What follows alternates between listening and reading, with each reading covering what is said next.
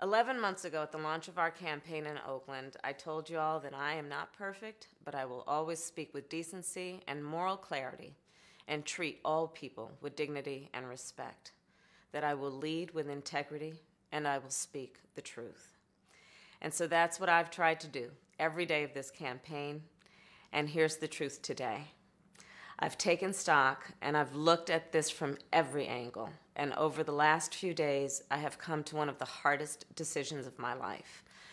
So here's the deal, guys. Um, my campaign for president simply does not have the financial resources to continue and the financial resources we need to continue.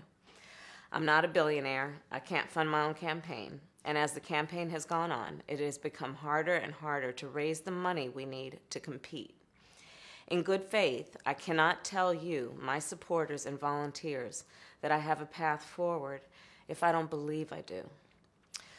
So, to you, my supporters, my dear supporters, it is with deep regret, but also with deep gratitude, that I am suspending our campaign today. But I want to be clear with you. I am still very much in this fight, and I will keep fighting every day for what this campaign has been about justice for the people, all the people. Our campaign has been about fighting for people whose voices have not been heard or are too often ignored, and we will keep up that fight. Let's remember, we were the first to put the injustice of inadequate teacher pay on the national agenda, and we will certainly keep up that fight. We were the first to demand justice for our children, declaring we would take bold executive actions to stop gun violence. We will keep up that fight. We were the first to demand justice for women with a plan to block unconstitutional state abortion laws. We will keep up that fight. And our campaign uniquely spoke to the experiences of black women and people of color and their importance to the success and the future of this party. Our campaign demanded no one should be taken for granted by any political party. We will keep up that fight because no one should be made to fight alone.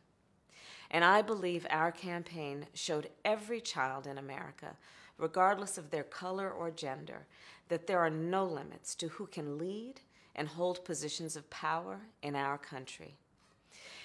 In that way, this campaign has been so much bigger than me. So I'm extremely grateful to the hundreds of staff who have moved and uprooted your lives and sacrificed time away from your families. I know our fight has been personal for each one of you. And I could not have done this without my husband, Doug, and my entire family and friends who gave up so much to embark on this journey with me and have supported me every step of the way.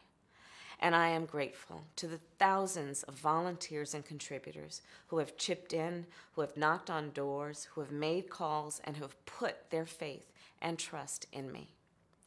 It has been the honor of my life to be your candidate.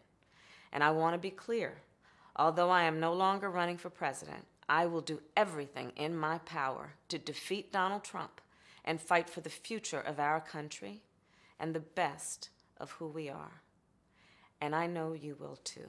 So let's do that together. Let's keep fighting for the America we believe in, an America free of injustice, an America that we know can be unburdened by what has been. Thank you, guys.